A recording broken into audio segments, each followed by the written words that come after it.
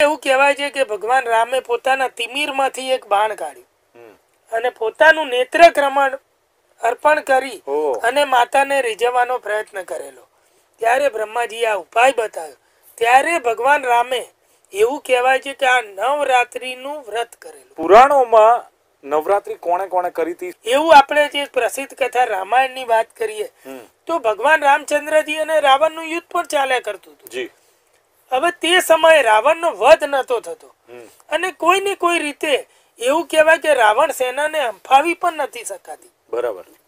ત્યારે ભગવાન રામને જ ખુદ બ્રહ્માજીએ આવો ઉપાય બતાવેલો કે આપમાં શક્તિની આરાધના કરો નવરાત્રી પર્વ આવી રહ્યો છે.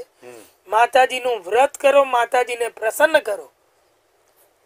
એ નહીં કરો ત્યાં સુધી રાવણનો વધ અસંભવ. કે રાવણ પર શક્તિશાળી અને બુદ્ધિશાળી બહુ જ્ઞાની હતા. એ કથાની જોડે કથા છે એ બી આપને કહું. રાવણ પણ ભગવાન શિવનો ભક્ત હતો. બરાબર ભગવાન શિવના આશીર્વાદ હતા તેની ઉપર પણ. એટલે એ પણ એટલું મોટું કવચ હતું એમ. અને તેની જ શક્તિને કારણે રાવણે પણ ત્રણેય લોકોને નાથ્યા હતા એવું. કહેવાય. હવે એનું સૈન્ય પણ બહુ વિશાળ અને શક્તિશાળી હતું. ભગવાન રામે પણ વાનર સેના અને રીત સેના સાથે પૂરા પ્રયત્ન કર્યા. પરંતુ કંઈ થઈ શકતું નહોતું.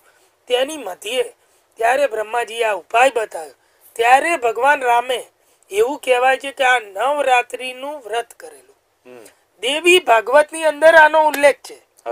કે ભગવાન રામે આ પર્વ જ્યારે આવ્યો ત્યારે યુદ્ધની વચ્ચે નવરાત્રિ વ્રત કરેલું અને માતાજીને પ્રસન્ન કરવાનો પ્રયત્ન કર્યો હતો.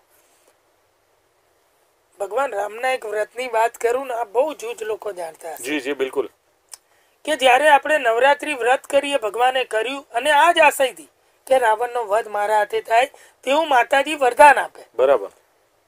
તો જ્યારે આ વ્રત આગળ ચાલ્યું નોમના દિવસે જ્યારે હવન જેમ આપણે કરીએ છીએ તેમ તેમાં આહુતિ આપવાની આવી. ત્યારે આખરી દિવસે ભગવાને એવું નક્કી કરેલું કે એકસો આઠ કમળ નીલ કમળ. તેની આપણે આહુતિ આપીશું એમ. એવું નક્કી હતું. હવે સમગ્ર તેમની સેના જાણતી હતી. તો રાવણ પણ માયાવી હતો તેના રાક્ષસો પણ માયાવી હતા. એ લોકો જાણી ગયા કે રામે આવું માતાજીનું વ્રત કર્યું શરૂઆતથી બરાબર. રાવણે પણ એક મોટું અનુષ્ઠાન શરૂ કરાયું હતું મા ચંડિકાનું.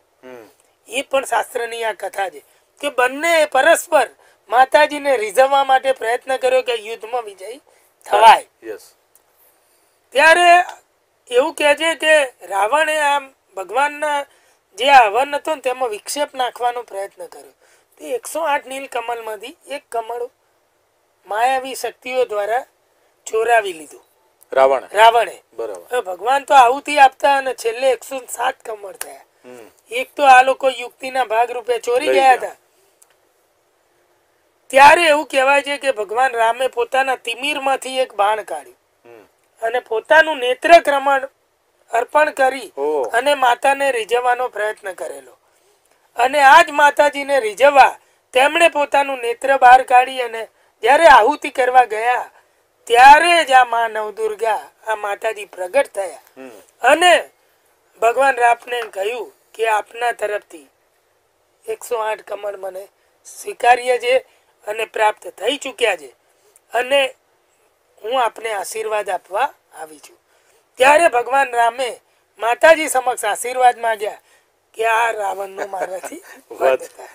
અને એવું કહેવાય છે કે માતાજીએ આશીર્વાદ આપ્યા અને ત્યારે જ બીજા દિવસે દશેરાએ માતાજીના હાથે રાવણનો વધ થયો.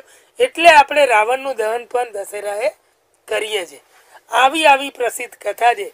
હવે રાવણની વાત કરીએ કે જો કોણે કોણે કરે તો રાવણે પણ જબરજસ્ત આવું વ્રત કર્યું. નવરાત્રીનું એને પણ સદંતર ચાલુ કરી દીધું. યુદ્ધમાં વિજય મેળવવા. હા એ રામ સાથે વિજય મેળવ બરાબર. હવે માતાજી તો જે કરે એ બધાને દેવી શક્તિનું શું કામ? બરાબર સમજો એ તો તમામને રીજે જે ભક્તિ કરે એને રીજે તેમના માટે કોઈ સૂર નથી કોઈ અસુર નથી. તો પછી રાવણને આશીર્વાદ મળ્યા હવે સાંભળો એ કથામાં. હા. હવે પરસ્પર યુદ્ધ વેળાએ પણ આવું ચાલતું. તો ત્યાં પણ યુદ્ધ વિરામમાં હજારો બ્રાહ્મણો દ્વારા બહુ મોટું યજ્ઞ ચાલતા હતા. અને એક એવું કહેવાય કે પ્રયોગો પણ હોય તંત્રના. રાવણે પણ રાવણ સંહિતા એક ગ્રંથ રચેલો છે એ પણ બહુ મોટો તાંત્રિક હતો. જાણકાર. એણે માતાજીને એને ખબર છે કે ત્વરિત પ્રગટ કરવા અને એવું કે આ સહારની જબરજસ્ત સિદ્ધિ મેળવવાનો એક મંત્ર છે. ઘણા કોઈ થોડું જાણતા હોય ધર્મ એને ખબર હોય. તો એ હારીણી કરીને એક મંત્ર છે. પૂરા મંત્રની આપણે વાત નહીં કરીએ. પરંતુ એ મંત્રના અનુષ્ઠાન એણે એવું કર્યું કે નવ દિવસ સુધી સતત અનુષ્ઠાન એક જ મંત્રનો જાપ કરોડો વાર. એવી રીતે હજારો બ્રાહ્મણો બેસાડી અને કરેલા. હવે રામની સેનામાં પણ બહુ ચાલાક લોકો હતા. બરાબર. એટલે એમાં હનુમાનજી બહુ બુદ્ધિશાળી હતા. હનુમાનજીએ જાણી લીધું કે આ માતાજીને પ્રગટ કરવાના મંત્રનું અનુષ્ઠાન રાવણના ત્યાં ચાલે છે. આપણે રામ ભગવાન પણ અનુષ્ઠાન. તો એ વિઘ્ન કરે તો આપણે પણ કંઈક કરવું જોઈએ એમ. તો એવું કહેવાય છે કે હનુમાનજી બાળ બ્રાહ્મણનું રૂપ લઈ અને રાવણના અનુષ્ઠાનમાં ઘૂસી ગયેલા. અને જે આ બ્રાહ્મણ દેવતાઓ પૂજા કરતા હતા જે મંત્રના જાપ કરતા હતા તેમની અનેક અનેક રીતે સેવા કરવા લાગ્યા. રોજે રોજની સેવાથી એવું કહેવાય કે આખરી દિવસ આવે ને ત્યારે આ બ્રાહ્મણ દેવતાઓ ખુશ થઈ ગયા કે આ બાળક બ્રાહ્મણ જે જબરજસ્ત આપણી પૂજા કરે છે અને આપણને આટલી મદદ કરે છે પૂજામાં એમ. બહુ સેવા કરી. તો કે બાળક બ્રાહ્મણો પણ એટલા મધમાં આવી ગયા. રાવણના બ્રાહ્મણો કે અમે તને વરદાન આપવા માંગીએ. માગ માગ માગે તે આપી આવી સેવા તો આજ સુધી અમારી કોઈએ નથી કરી. આ બધી પણ માયા હતી. આ જે મા માયાની. એટલે હનુમાનજી તો તરત જ ખુશ થઈ ગયા કે જોરદાર વરદાન માંગ્યું છે. મળે છે. તો કે મારે ખરેખર આપે આટલું કહી દીધું હું ધન્ય થઈ ગયો. ખરેખર આપ મને વરદાન આપશો? તો બ્રાહ્મણ દેવતાઓ હા હા માગ માગ. તું જે કહીશે થઈ જશે કરી દઈશું. તો કે મારે કંઈ બીજું નથી જોઈતું પ્રભુ. મારે તો એવું જોઈએ કે જે આપ આ જે ચંડીનો આ જે મંત્રનો જાપ સતત કરો છો તેમાં હની જગ્યાએ ખાલી ક વાપરો. અચ્છા. ખાલી ક વાપરી અને બોલો આપ કરો આપ જાપ આ લોકો એટલા મદમાં હતા સતત મંત્રોચ્ચાર ચાલતા હતા. તો જે બ્રાહ્મણોના મહાપંડિત હતા તેણે કહ્યું કઈ નહીં તમામ હવે હની જગ્યાએ ક વાપરો. જે મંત્રો બોલી એમાં હા એમાં- જગ્યાએ ક હા એટલે હારીણી બોલતા હતા. એની જગ્યાએ કારીણી બોલો એમ. બરાબર. એમ કરીને કશું વિચાર્યા વગર ચાલુ કરી દીધું. અને છેલ્લા દિવસો આ મંત્ર જાપ ચાલુ હતા.